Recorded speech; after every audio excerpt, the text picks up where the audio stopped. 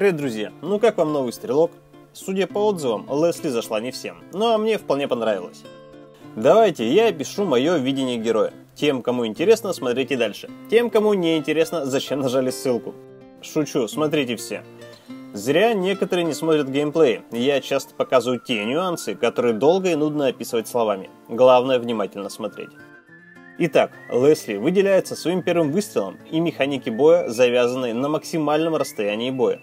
Будем давить на это, поскольку в перестрелке, так сказать, в лицо, Лесли проигрывает при равном фарме, поскольку хп критически мало. Маны у Лесли нет. Есть энергия, как у Фани. Наше отличие в том, что мы не зависим от блубафа, в отличие от Фани. Пока эмблемы не изменили, берем эмблему убийцы. Потому что там есть урон, пробитие и крит. Когда ведут следующие эмблемы, там есть навык у стрелков замедления. Вот он-то нам и пригодится. Дополнительный навык, конечно же, возмездие. Но можно и вспышку, для нас это не критично. Навыки, пассивка, смертельный выстрел – восстанавливает за выстрел 5 единиц энергии, которую тратим на навыки. Если Лесли не получает урон в течение 5 секунд, следующая автоатака будет иметь больший радиус, повышенный шанс крита и нанесет больше урона. Кроме того, применение любого навыка перезаряжает пассив. Первый навык – мастер маскировки. Лесли уходит в условную невидимость на 3 секунды, получает ускорение бега на 30% и усиление следующего выстрела, который стакается с критом пассив. Если Лесли нанесет или получит урон, она выйдет из режима невидимости. Это наш основной и постоянно применяемый навык.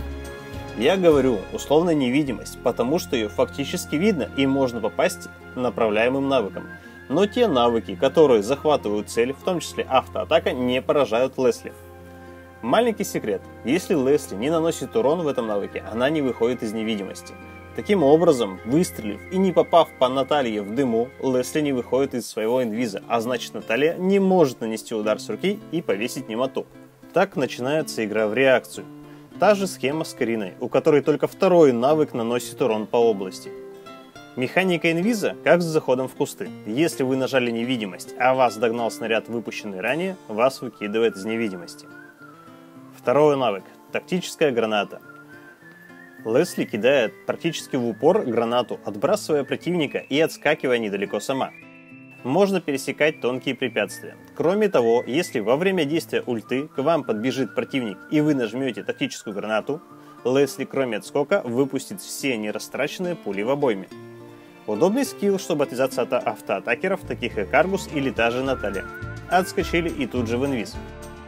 Ульта. Снайперский выстрел. Лесли встает на колено и производит 4 выстрела, сила которых зависит от недостающего хп противника. Выстрелы довольно слабые, но радиус возможного поражения на третьем уровне навыка приятно удивляет. Есть нюанс. Снаряд может заблокировать другой противник, а тот же Заск спрятаться за порождением. Каждая пуля также восстанавливает нам энергию. Навык идеально подходит для добивания или обнаружения противника, поскольку Лесли вообще не важно, в кустах противник, за дальностью обзора или Наталья в инвизе. Чуя цель, Лесли начинает стрелять, а противник, в которого попадают снаряды, отображается на карте. Тактика боя.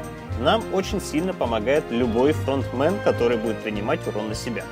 Когда противник гонится за вами и прожимает навыки, а вы уходите в невидимость, противник автоматически переключается на ваш танк.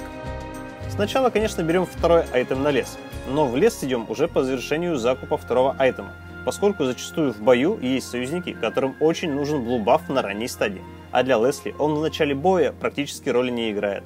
Блу отдаем и фармим мелких лесных крипов для стака пассивки айтема. Самый быстрый способ – первый навык, месть, первый навык. Не бегаем соло, если противников не видно на карте. Не приближаемся к кустам. Все наши атаки завязаны на расстояние. В более поздней игре, когда у первого навыка будет КД 2-3 секунды, нам понадобится баф, который уже сможем забирать на вражеской территории. Вся соль в том, что первый выстрел после первого навыка при полной сборке наносит порядка 2000 урона критом. А сверху еще чистый урон от бесконечной битвы, которая рассчитывается из нашей атаки. Баф понадобится для частого применения первого навыка. И самое время тем, кто не научился закреплять цель, сделать это на Лесли – поскольку очень важно, чтобы наши выстрелы настигали сквишей, а не танков. В настройках называется режим суперконтроля.